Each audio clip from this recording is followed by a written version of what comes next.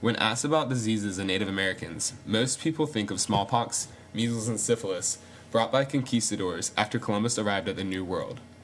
Few would think, however, of modern Native Americans living today that are challenged with living with a white man's disease. Unfortunately, many tribes are faced with conditions because of European and American interaction and intervention throughout history. Diabetes is among one of the most prevalent of these health problems among Native Americans today. Type 2 diabetes is a lifelong condition in which the pancreas doesn't produce enough insulin to keep blood glucose levels at a normal level. The body can't react to these low levels of insulin, the hormone that produces and controls blood sugars. Diabetes is greatly affected by diet, exercise, and genetics. The Pima Indians are a perfect example of a population that are predisposed in each of these three categories. The O'odham the river people have lived in the Sonoran Desert along the Gila River in modern day southern Arizona and northern Mexico for at least 2,000 years. In the 1600s, Spanish conquistadors exploring the area for Spain renamed the tribe the Pima. The Pima were excellent farmers, utilizing the river through complex irrigation systems. Their native diet consisted of fiber and vitamin filled foods like wheat, corn, beans, pumpkins, watermelon, squash, peas, and other healthy and natural grains. They were also renowned runners, working as cavalry scouts for the Spanish and later U.S. militaries. The Pima are also well known for their generosity towards and peaceful relationships with white traders and settlers, which historically has led to interactions with these settlers that have extended longer than other tribes in the United States. Huge changes began to hit the Pima, however, after Mexico won its independence from Spain in the year 1821. In 1846, Arizona was given to the United States after the Spanish American War. Beginning in the 1870s, the American government began constructing irrigation routes away from the Pima and towards the farms and homes of the new white settlers. This led to a 40 year massive famine and widespread poverty among the Pima.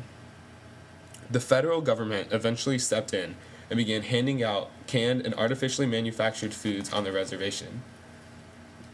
This began the downward spiral of the Pima diet away from their healthy, traditional one in the Gila Indian River community.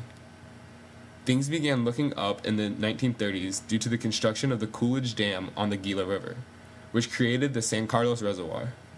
This n- new water source allowed the Pima to redevelop irrigation channels to allow them to go back to their agricultural roots. This led to more jobs and a bigger concentration on further developing the reservation into a strong community. This also, however, did not help any against the Pima fight against diabetes. The Pima of the Gila River Indian community have the highest prevalence of type 2 diabetes than any other ethnic group today. They have been working with the National Institute of Diabetes and Digestive and Kidney Disease for the past 30 years to help find causes and a cure for diabetes.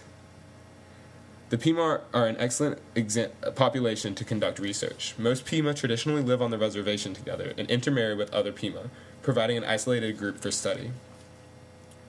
Why then are the Pimas so susceptible to diabetes? For one, modern tribal members are less physically active than their farmer and runner ancestors. Another reason is their diet.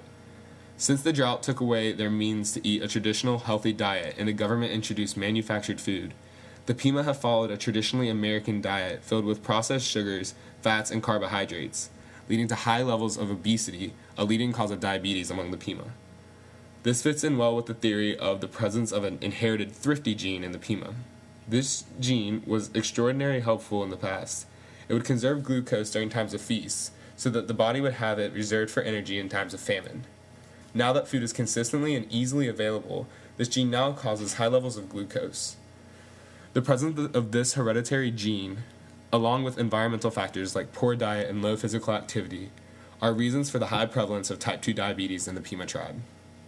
The, pre- the Pima refuse to be held back by diabetes. They are strong and proud traditional people that continue to fight for a better quality of life for their tribe. They lead the way for Native American healthcare, health education, and are trailblazing a way for all those affected by diabetes to seek treatment and find new ways to prevent the disease.